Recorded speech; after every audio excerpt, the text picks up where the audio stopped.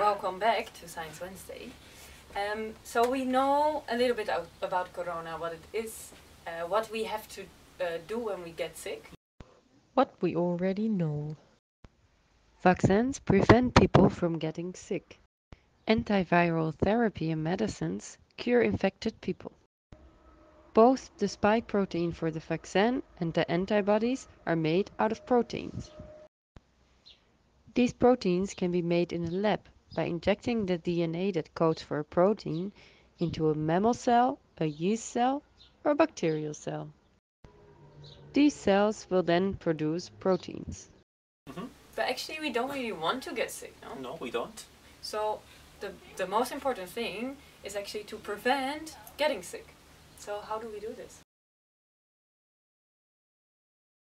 So, the first and most important thing is to wash our hands.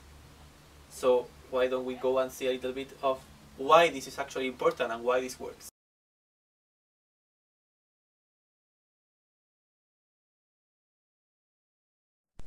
This is a coronavirus.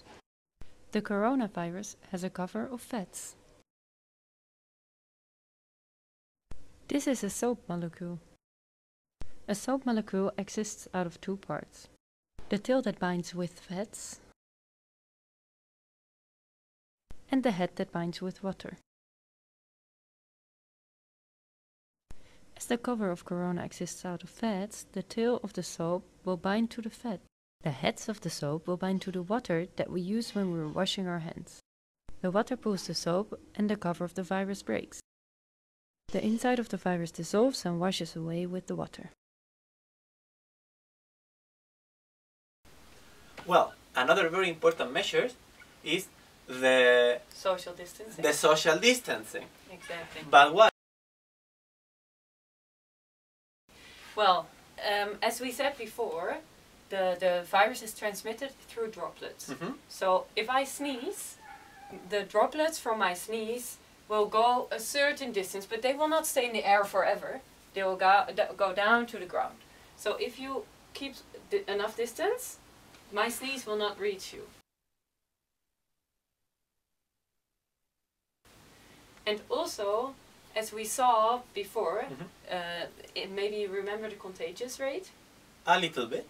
Okay, so the contagious rate means how many people on average, someone who's sick, will infect.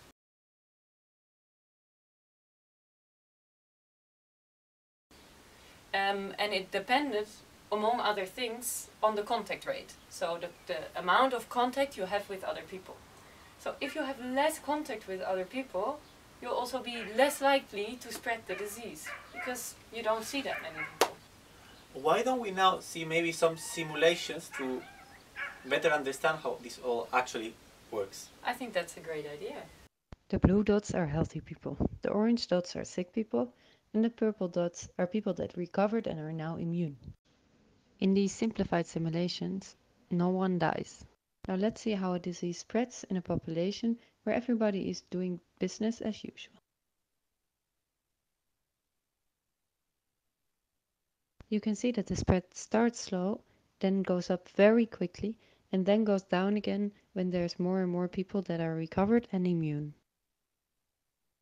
Now let's look at a simulation where they tried to isolate the sick people from the healthy people.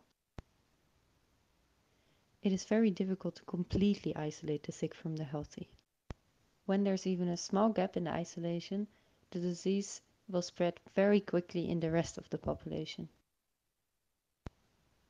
Now let's look at a simulation where only a quarter of the population moves.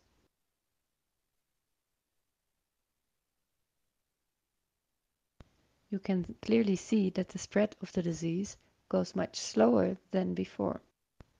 This is what we try to do with social distancing.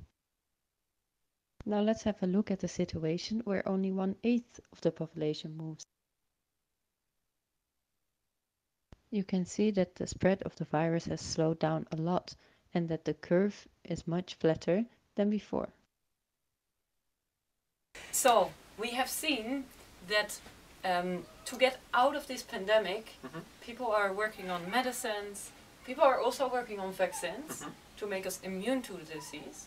But you you can also get immune not through a vaccine, but by getting the disease. Yeah. Uh, and a word that I heard a lot lately is herd immunity. But what is this exactly?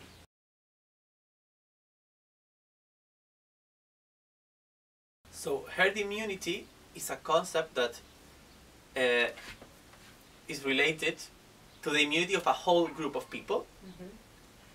So in, if in this group of people there is a big amount of them that are immune, that is supposed to be around a 70%, then their immunity covers the other people as well. So by this 70% of the people being immune, they are preventing an outbreak of the disease among the other 30%. Ah, okay. I think it's a little bit of a complicated concept to see. So why don't we have a look at some simulations? I think that would be helpful.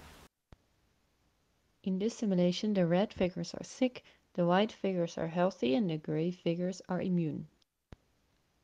We can see that in the beginning the amount of sick people goes up very quickly, but that after a while it stays stable because there's so many people immune to the disease that they kind of protect the people that are still sensitive to the disease. This is because if a sick person is surrounded by people who are immune to the disease, it cannot spread the disease anymore. So let's have a look at what we learned today. What did we learn today? Measures to prevent the spread of the coronavirus. Washing hands. The soap destroys the cover of the virus and in this way deactivates the virus. Social distancing. A lower contact rate will result in a slower spread and a flatter curve. So that was it for today. And not just for today. Yeah, exactly. And in general, This So- was the last class of this um, cycle. cycle. We hope you enjoyed, We hope you learned a lot and we hope to see you at some point. in the future. Thanks for joining us. And uh, And bye. Bye bye.